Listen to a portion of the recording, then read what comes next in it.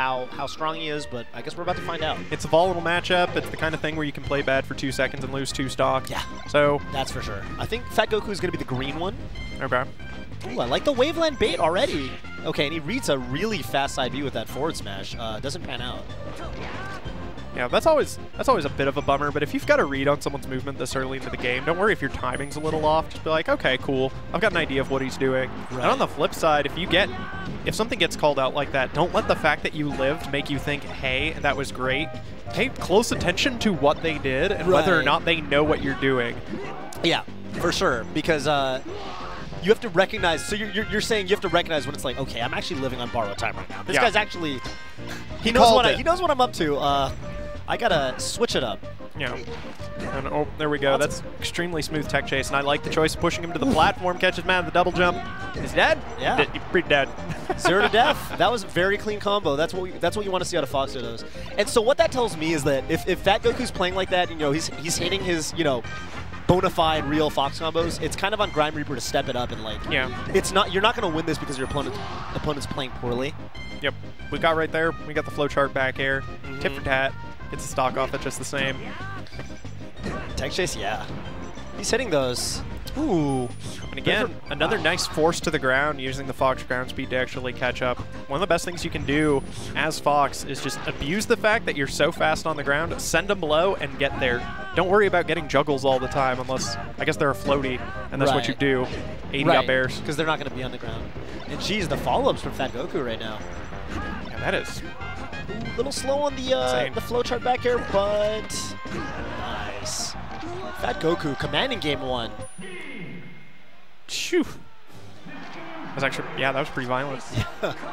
Grime Reaper, I mean, he he had some he had some nice little plays at the beginning. I liked his Waveland back to grab. Like, you know, he went for like a back throw into very specific read on, on an edge guard gimp. And uh, Fat Goku just had zero to deaths off up throws the whole game. So Yep. Ooh, yeah, that that looks just about right. That's, you know, that honestly, it kind of looks like he's been studying Armada Leffen matches. yeah, Straight up, that was that was so straight out of Europe. yeah, Like Yes. the rising bear that says, okay, if you go low, it's gonna catch you. If you go high, I have time to find you. yeah, Pushes him out. Does that that long graceful drop? yeah, yeah. Because you want to get there the, the last moment when, when the when the fire is is, uh, is is done being active. Yep. Oh yeah, and that from earlier on when he totally called out the you pointed out he called out forward forward B with forward smash and it didn't work out. He's been reading those forward beats so successfully. The last time he got a roll into grab, and this time he actually just went all the way to the end and stood there. And yeah. Grime Reaper fell right into it. Yeah, that was actually sick. So I don't know. I mean, we've seen in game one. Yeah, again, he's doing that ledge shop side B. Uh, he should definitely be noticing that it's getting called out. Yep. And in that case, even though he didn't get hit, he actually put himself just back in the corner on the other side of Fountain with it, and it and caused him to end up in the exact same position that he was before. Mhm. Nope. Fat Goku trying to trying to do moonwalks now. Trying to do something, yeah. I think I think he's feeling himself. Feeling I, himself. I yeah, I would say so.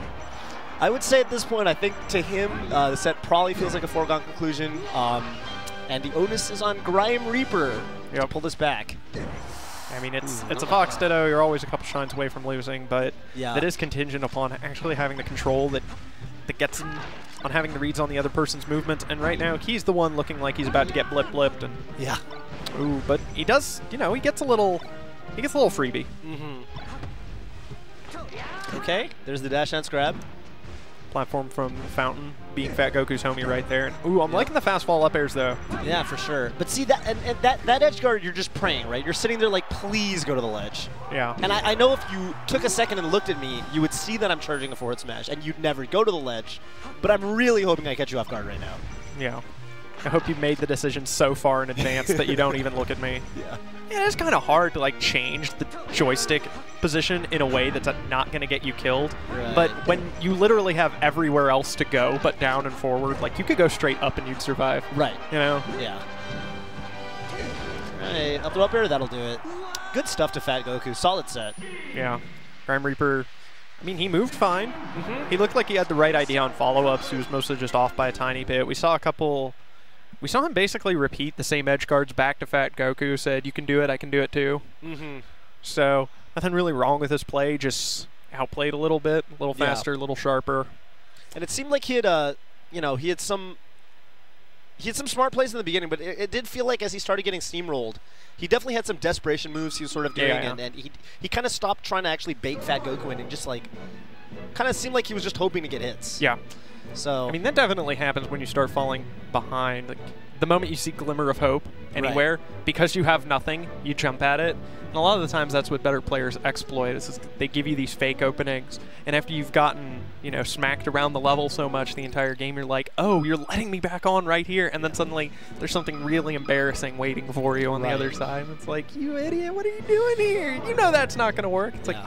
yeah, but when you're in control, you can always make the other guy look kind of like a chump. So, and props to Fat Goku. He hit a lot of really, I just want to say, solid conversions. yeah, any anytime we're watching a match and we're saying, "Ooh, that was straight out of Sweden," that's like a good sign usually for the yeah, Fox. it means you pretty much did the literally correct thing. Yeah. that's- So that's be be glad you've got that in your toolkit.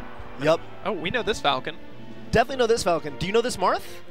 ADLP? ADLP? No. We'll say I like his shirt and I like his hat. Is that the is that the melee character select screen on his shirt? That is actually sick. I need that shirt. That's fantastic. Oh my god. I hope he wins the tournament. that is so cool. Uh, I will say uh,